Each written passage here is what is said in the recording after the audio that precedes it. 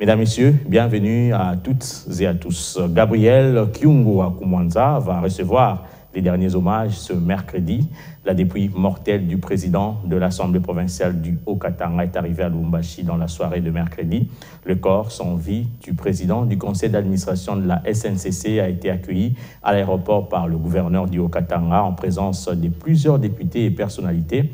Le président de la République est d'ailleurs annoncé ce jeudi dans la ville cuprifère pour assister aux obsèques d'un des 13 parlementaires et fondateurs de l'Union pour la démocratie et le progrès social. L'annonce a été faite lors du Conseil de sécurité mardi dernier.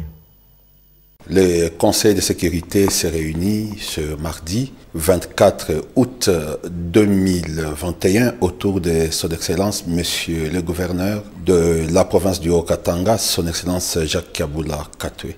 Quatre points dont les divers étaient inscrits à l'ordre du jour.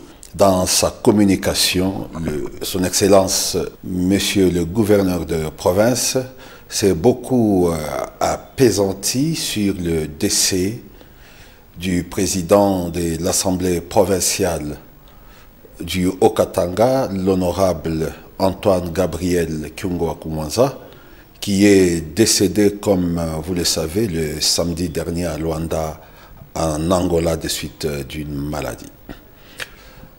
Son Excellence, euh, Monsieur le gouverneur de province, a tenu informer le Conseil de sécurité de l'arrivée demain mercredi de la dépouille mortelle du dauphin et que euh, tous les Okatangais seront mobilisés pour euh, accueillir celui qu'on appelait l'éléphant du Congo, le baobab du Katanga, la sentinelle du Katanga.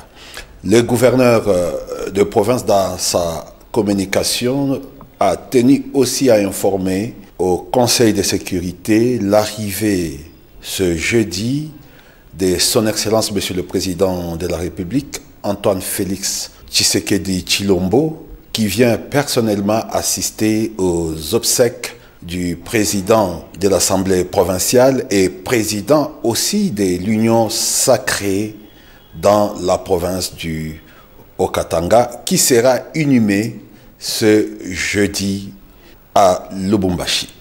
Dans le deuxième point, le Conseil de sécurité de la province du Haut-Katanga a traité de la situation sanitaire en ce qui concerne la COVID-19.